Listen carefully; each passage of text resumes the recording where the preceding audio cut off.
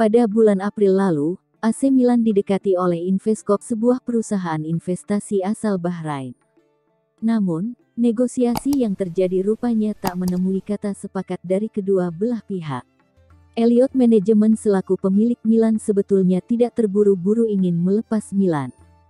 Nilai jual yang dipasang mencapai 1 miliar euro, itu sudah termasuk melunasi utang-utang Milan.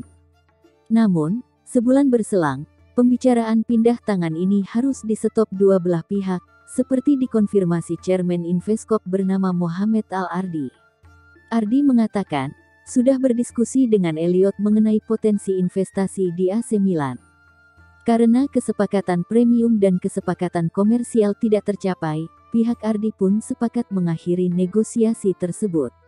Namun, Ardi tidak menjelaskan apa sebabnya, tetapi pihak Ardi berharap yang terbaik untuk AC Milan di musim depan dan seterusnya.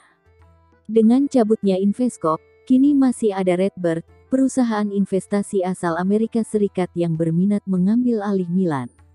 Kabarnya, mereka menawarkan nilai jual yang lebih baik, yakni 1,3 miliar euro. Milan sudah dipegang oleh Elliott Management sejak 2018, setelah Lee Yong Hong selaku Presiden Rossoneri sebelumnya tak mampu membayar utang tepat waktu. Selama dikuasai Elliott, manajemen Milan pun membaik. Jangan lupa like, komen dan subscribe. Awas kalau nggak subscribe.